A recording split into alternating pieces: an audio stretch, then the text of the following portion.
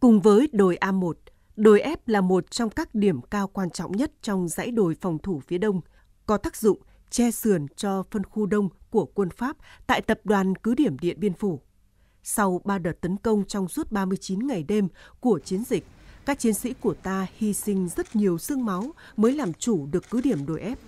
Ngày hôm nay đã trở thành đền thờ liệt sĩ, người dân và du khách gần xa tới đây tham quan, tri ân các liệt sĩ hy sinh vì độc lập tự do của dân tộc. À, qua nghe cái các cái uh, thuyết minh cá nhân tôi và uh, các đại biểu trong đoàn thì rất là xúc động uh, khi mà được ôn lại một cái thời kỳ lịch sử rất là hào hùng của dân tộc Việt Nam nói chung và các dân tộc của tỉnh Điện Biên nói riêng. Chuyến đi này đó thì cũng Ờ, mang lại cho ờ, cá nhân của tôi và các đại biểu khác động lực để mà tiếp tục ờ, phấn đấu góp sức dựng xây Việt Nam giàu mạnh được xây dựng từ tháng 3 năm 2021 và hoàn thành vào năm 2023. Công trình đền thờ liệt sĩ tại chiến trường Điện Biên Phủ là quần thể kiến trúc độc đáo khi đạt được những giải thưởng cao về kiến trúc và đô thị của đất nước. Trên diện tích 50.000 m2, công trình là một tổng thể hài hòa các yếu tố lịch sử, văn hóa và sinh thái.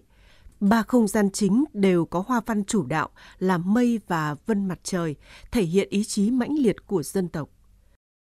Tuổi thơ của tôi thì gắn bó với đối ép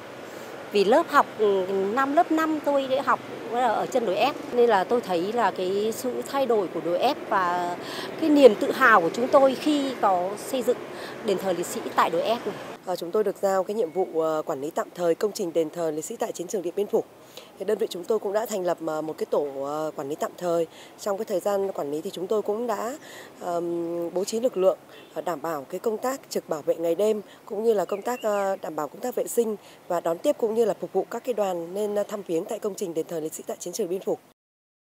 Giữa hồ tĩnh tâm là ngôi sao năm cánh 56 cây đèn tượng trưng cho 56 ngày đêm khốc liệt của chiến dịch Điện Biên Phủ, đồng thời cũng là biểu tượng của những nén hương tưởng niệm các liệt sĩ.